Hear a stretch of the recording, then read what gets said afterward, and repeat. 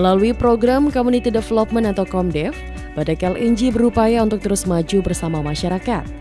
Oleh karena itu, Senin 7 Mei 2018 lalu, tim Komdev Badak LNG bekerja sama dengan masyarakat kreatif pesisir mengadakan pelatihan kerajinan tangan berbahan kulit kerang untuk warga berbas tengah.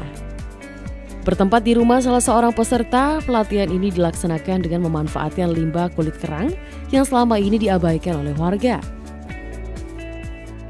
Dalam pelatihan ini yang bertindak sebagai instruktur adalah tim masyarakat kreatif pesisir atau maskapai. Tiga orang instruktur dikirimkan oleh maskapai untuk membina kelompok Telaga Putih yang berjumlah 10 peserta. Kelompok ini terdiri dari ibu-ibu di Kelurahan Berbas Tengah, tepatnya RT 34 dan RT 35. Maskapai sendiri merupakan mitra binaan CSR Badak LNG yang juga telah mendapatkan pelatihan serupa sebelumnya Kali ini waktunya maskapai untuk berbagi ilmu kepada para peserta. Dalam kesempatan ini, Ketua RT 35 Hasnah menyampaikan terima kasih kepada Badak LNG yang begitu perhatian kepada masyarakat. Hasnah mengaku kegiatan ini belum pernah diadakan sebelumnya, sehingga Hasnah sangat bersyukur dan berharap hasilnya akan bermanfaat untuk warga. Sementara itu, Linda yang merupakan ketua kelompok Telaga Putih mengaku sangat senang karena bisa mengajak warga sekitar untuk mengikuti kegiatan ini. Linda berharap sesuai pelatihan ini, kemandirian serta kreativitas warga semakin meningkat.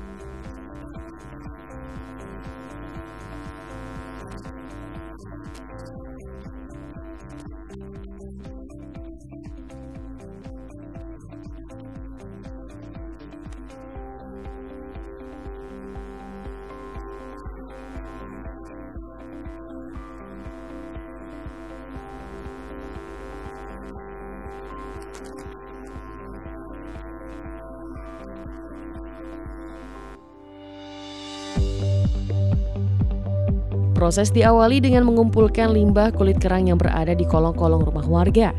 Kemudian, kulit dari berbagai jenis kerang ini dicuci dan dikeringkan.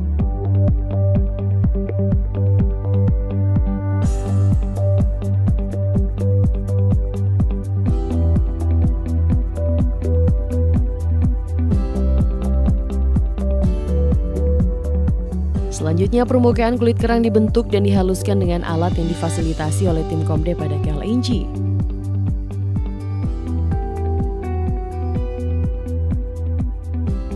Setelah itu, para peserta diarahkan untuk membuat kerajinan sesuai pola yang diajarkan oleh instruktur dari maskapai.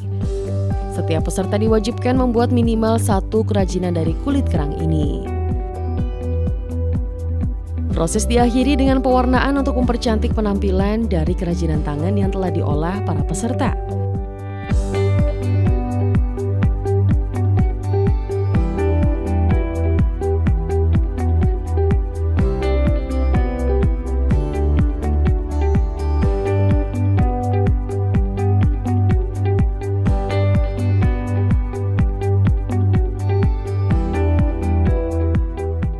Hasil olahan kerajinan kulit kerang ini nantinya akan dikemas dan dipasarkan dengan berintegrasi dengan Bontang Kuala Ekoturism.